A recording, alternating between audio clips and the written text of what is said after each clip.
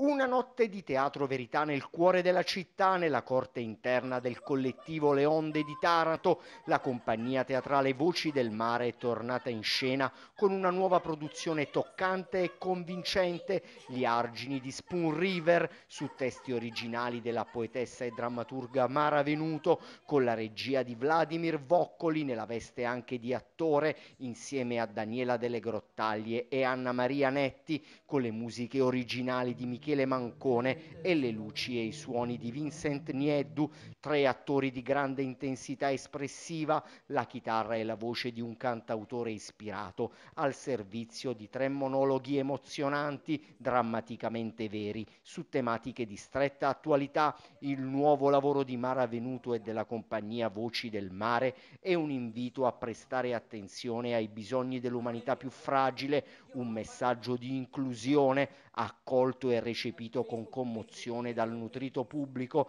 che ha preso parte alle due repliche, entrambe sold out. Questi personaggi eh, davano proprio l'idea dello spettacolo che volevo fare, cioè andare oltre lo stereotipo che tutti noi ci facciamo sulle persone. Ci creiamo sempre un'immagine dell'altro fuori da noi, ma in realtà c'è sempre qualcosa di nascosto che noi non osserviamo e questi tre personaggi hanno entrambi tre cose nascoste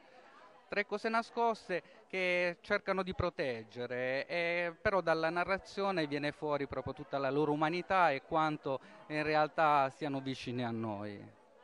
E il nostro obiettivo con questo spettacolo era quello di eh, accendere la luce, eh, far vedere quello che normalmente non si deve vedere o non si vuole far vedere e dare quindi voce ad un'umanità che è l'umanità che abbiamo accanto, è l'umanità di tutti i giorni, persone che sfioriamo per strada, che abbiamo accanto nella porta eh, dello stesso pianerottolo, eh, che abbiamo anche dentro casa spesso, a volte non ci si conosce profondamente neanche eh, pur vivendo nella stessa casa lasciami senza, lasciami senza luce in questo tuo